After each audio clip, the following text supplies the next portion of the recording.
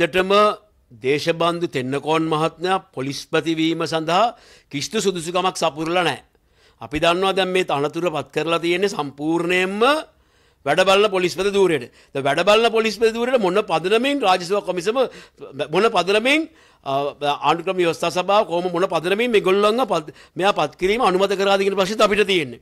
අපි දන්නවා විශේෂයෙන්ම දැනටමත් මැයි නමවෙනිදා එල්ලකරපු ප්‍රහාරයේදී අරගලකරුවන්ට එල්ලකරපු ප්‍රහාරයේදී දේශබන්ධු තෙන්නකොන් මහත්ම කටයුතු කරපු ආකාරය සම්බන්ධයෙන් අභ්‍යාචනාධිකරණය ඔහු සම්බන්ධයෙන් අනුගමනය කළ තීන්දුවට තීන්දුව සම්බන්ධයෙන් නීතිපතිවරයා ශේෂාධිකනයට ගණුවක් ගොඩු කරලා තියෙනවා. දැන් මේ කටයුතු කරමින් යනවා.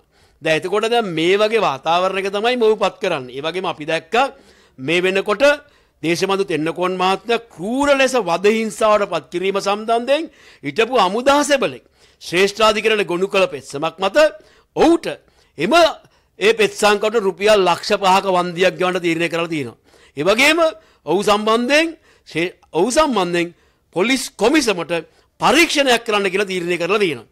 එද ඒ වගේ දැම් පැහැදිල්ලි අධිකරණමය තීන්දුවක් ලබා තියෙන කෙනෙක් තමයියේ.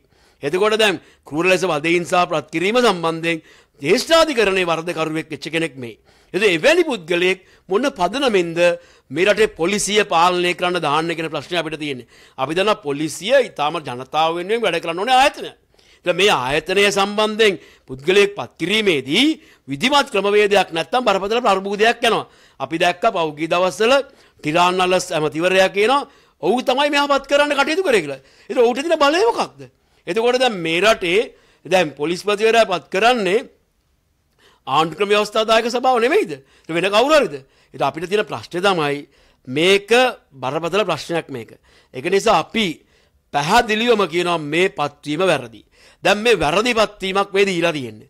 එතකොට දැන් මෙතන දැන් ශ්‍රේෂ්ඨාධිකරණයේත් වරදකරුවෙක් වෙලා තියෙනවා නම් මේ වෙනකොට නීතිපතිවරයා විසින් මැයි නමය සිද්ධිය සම්බන්ධයෙන් කියලාධිකරණයට යන කටයුතු කරමිනුත් ඉන්නවා නම් මේ වෙනට පොලිස් කොමිසමට පැහැදිලිවම පරීක්ෂණයක් ඔහු සම්බන්ධයෙන් විනය පරීක්ෂණයක් කරන නියෝගිකුත් ලබා දීලා තියෙනවා නම් මොකද්ද මේකේ තේරුම? ඒතර මේ රට සම්පූර්ණයෙන්ම විහිළුවක් බවට පත් වෙලා තියෙන්නේ මේක. මේ රටේ ඒතර විනයක් නැති තත්ත්වයක් තමයි පත් වෙන්නේ. ඉතින් මේ විනයක් නැති තත්ත්වයක් තමයි අපි දකින්නේ. අපි දකිනවා මේ තත්ත්වය තුළ තමයි මේ වෙනකොට අපි දකින්නේ විශාල වශයෙන් දැන් විවිධ මේයුම් නම් දාලා විවිධාකාර මේයුම් කරනවා කියලා පෙන්වනවා. ඉතින් මේකත් බරපතල ප්‍රශ්නයක් නේ. දැන් රටේ නීතියක් තියෙනවා. වරෙන්තුවක් නැතුව ගෙවල් පරීක්ෂා කරන්න බෑ. දැන් මේ ආකාරයෙන් බලාත්කාරයෙන් ගෙවල්ල ගිල්ල ගෙවල්ල ඇතුළ වෙන්න දේවල් එලිය වෙන්න දේවල් අල්ලං යන ඒවා මේ සියල්ල මාදිර නිදස් කරමින් ඉන්න. මොකක්ද මේ වීලුව. මේ රටේ ප්‍රජාතන්ත්‍රවාදි රටක් මේක. දැන් මේ සම්බන්ධයෙන් අපි දන්නවා නීති රීති තියෙනවා. දැන් නීතිය ඉක්මවා ගිහිල්ලා. නීතිය ඉක්මවා ගිහිල්ලා ජමිනිස්සු අත්අඩංගුවට ගන්න විවිධ ක්‍රියාකාරකම් කරන්න තියෙන බලය මොකක්ද? එතකොට දැන් මේ කරන්නේ මොකක්ද මේ? දැන් මේකෙන් වෙන්නේ මේ අපි දකින්නේ මේක ඇවිල්ලා මේ කුඩු කුඩුකාරයෝ දස්ත්‍යාදුකාරයෝ අපරාධකාරයෝ කිය කිය මේ කරන ක්‍රියාවලිය මේ ආකාරයෙන් නීතියානුකුල නොවන විදිහට කරනකොට අනාගතයේදී වෙන්නේ මොකද්ද? මේ රටේ සෙසු අයටත් මේ ක්‍රියාව ඒ විදිහට වෙනවා. මේ ලෑස්ති වෙන්නේ එවැනි ක්‍රියාවකටද කියන සැකේ තමයි අපිට තියෙන්නේ. ඒතර ජනතා අනුමැතියක් තියෙනවා වගේ පෙන්නගෙන ඒ ක්‍රියාවලිය කරලා ඊළඟට එන්නේ කාට දෙන්නේ ඊළඟට කතා කරන අය සම්බන්ධයෙන් මේ වයන්නේ. ඒක නිසා නීතියානුකූල ක්‍රියාමාර්ග තමයි ගත යුත්තේ. දැන් මේ කරන්නේ මොකක්ද?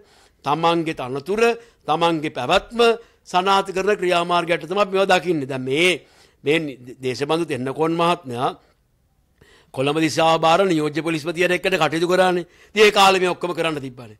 ඔවුත් මේ පොලිසිය හිටියන අවුරුදු ගාණක් ඔවුත් මේ පොලිසිය හිටියනේ. එතකොට දැන් දැන් මොකද්ද දැන් අමුතු අමුතු අමුතු ක්‍රමය මොකද්ද? දැන් ඔවුත් වගේ කියන්න ඕනේ නේම නම් ඒකට. ඒක නිසා මේ ඇවිල්ලා මේ රටේ ජනතාව අන්දන්න ලෑස්ති වෙන ක්‍රියාමාර්ගයට තමයි අපි දකින්නේ. මම ප්‍රශ්නේ තියෙන්නේ මේ රටේ ප්‍රජාතන්ත්‍රවාදයක් තියෙන්න ඕනේ. මේ රටේ ජනතාවගේ අයිතිවාසිකම් තියෙන්න ඕනේ. අපරාධකරුවන් සම්බන්ධෙනුත් අයිතිවාසිකම් තියෙනවා. ඒතර ඒවා සම්බන්ධයෙන්ුත් බලන්න ඕනේ. ඒම නැතුව මේ නිකම් මේ ආකාරයෙන් කටයුතු කිරීම අපි අනුමත කරන්න මේක සම්පූර්ණ වැරදි ක්‍රියාවක් මොකද ඔහු සම්බන්ධයෙන් චෝදනා තියෙන කෙනෙක් පොලිස්පතියට පත් කරගෙන ඔහු දැන් මේ ආකාරයෙන් කටයුතු කිරීම සම්පූර්ණයෙන් වැරදි කවුරු හරි හිතනවා නම් මේවා ප්‍රශ්න කරන්න නැතුව ඉන්න එක බරපතල ප්‍රශ්නයක්. දැන් ඒ වගේම අපි දැක්ක පෞගී දවස්වල නීතිච්ඥ මහත්තුරු මේවා සම්බන්ධයෙන් කතා කරාම ඒ නීතිජ මහත්තුරුන්ට චෝදනා කරන්න ගත්තා ටිරාන්නල්ල සැමතිවරය. ති අත්තරම දැන් ඇමතිවරයෙක් ඇට උකරපු කාරය හරිද. ද අපි දන්න සාමාන්‍යයෙන් ඕනෑම පුද්ගලෙකුට නීතිඥයෙක් ලබා ගැනීම හිමිකම තියෙනවා. එතකොට දැන් ඒ හිමිකම ලබාගත්තම ඔව්වඩ පෙනහිටියම නීතිඥවරුන්ට අර්ජනය කරන එක බරපතල වීලුවක් ඇට තම අපි දකින්නේ එක භයානකයි වීලුවට එක භයානකයි. ඒක නිසා මේ රටේ ප්‍රජාතන්ත්‍රවාදී රටක් මේක. අපි දන්න ආණ්ඩුක්‍රම ව්‍යවස්ථායම තියෙන මේක මොකද ප්‍රජාතාන්ත්‍රීය සමාජවාදී ජනරාජ්‍යයක් කියලා. එතන ප්‍රජාතන්ත්‍රවාදය කොයිද තියෙන්නේ? කාර්ද මේ ප්‍රජාතන්ත්‍රවාදය තියෙන අඩු ගානේ මේ රටේ ජනතාවට ඡන්දත් නැහැ එක පැත්තකින්. අනිත් පැත්තෙන් මේ ආකාරයෙන් කටයුතු වෙනවා නම් මේක බරපතල ප්‍රශ්නයක්. ඒක නිසා අපි කියනවා මේවා සම්බන්ධයෙන් පාලකයෝ වගේම ජනතාවත් ඇස්සරලා බලන්න ඕනේ කියන කාරණාව. මොකද මේ මේ ක්‍රියාවලිය අරා සිදු කරන්න වෙනත් කාර්යයක්. මොකද මේ වෙනකොට රටේ බඩු මිල වැඩි ජීවත් වෙන්න විදිහක් නැහැ.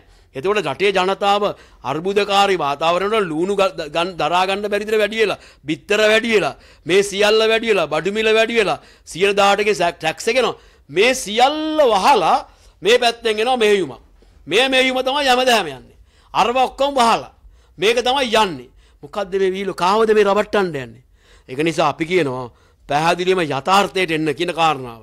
ඒක නිසා අපි පැහැදිලිවම කියන කාරණාව තමයි දැනට තියෙන නීති රාමුවට පිටින් කටයුතු කිරීම අපි පැහැදිලිවම එලා දකින. අපි දන්නවා විශේෂයෙන් මේ තියෙන අනපනත් සියල්ල උල්ලංඝනය කරමින් තමයි මේ සියල්ල කටයුතු සිදු වෙමින් යන්නේ. මේ මේවා කරන්න එම බලයකුත් නැහැ.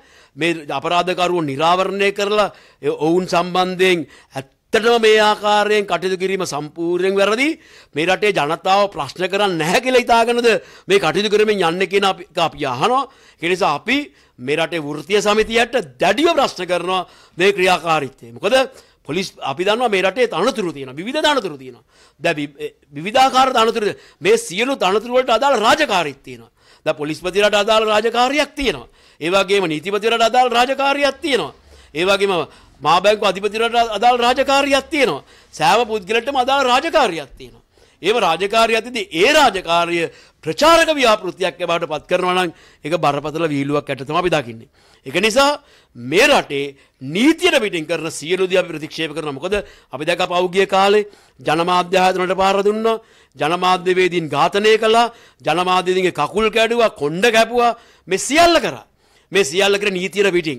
ඒව සම්බන්ධයෙන් තවමත් ඒව සම්බන්ධ තවමත් පරීක්ෂණ අවසන් වෙලා නැහැ. කිසිදු පරීක්ෂණයක් අවසන් වෙලා නැහැ. එතකොට එවැනි තත්යක තුල තමයි මේ ආකාරයේ කටයුතු වෙමින් තියෙන්නේ. මේක සම්පූර්ණයෙන් වැරදි මේ ගමන් කරන්නේ කොහෙටද කියන ප්‍රශ්නය අපිට තියෙන්නේ. ඒක නිසා මේ රටේ රටේ ජනතාවගේ ජනවරමක් නැතුව, ඡන්ද තියන්නේ නැතුව, අත්නෝමතිකව මේ තීරණු තීරණ අරගෙන කටයුතු කරන එක බරපතල තත්ත්වයක්. අපි දැක පහුගිය දවස්වල වජිරා බේවර්ධන ඇමතිවරයාත් කතා කරනවා.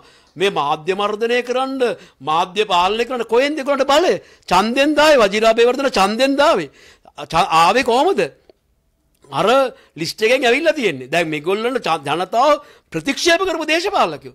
ඒගොල්ලෝ තමයි ඇවිල්ලා ජනතාව මර්ධනය ගැන කතා කරන්නේ. ඒක නිසා තමන් ප්‍රතික්ෂේප කරපු ජනතාවගෙන් පලිගන්නද වෙලා ඇස්සියෙන්නේ. ඒක නිසා අපි ඒකට ඉඩ තියන්නේ මේ රටේ ජනතාව බුද්ධියගෙන නැහැ. ජනතා සංවිධාන බුද්ධියගෙන නැහැ. අපි පැහැදිලිවම කියනවා මේ පත් කිරීමට අපි සම්පූර්ණ විරුද්ධයි වගේම විධිමත්ව එක පත් කරන්න කියලාත් අපි කියනවා. ඒ වගේම අපි කියනවා මේ ආකාර නීතියානුකූල නොවන විදියට කටයුතු කිරීම වාම නතර කළ යුතුයි කියන කාරණාවත් අපි කියනවා. සෑම දෙයක්ම රටේ නීති රණු සිදු විය යුතුයි කියලායි අපිට කියන්න තියෙන්නේ.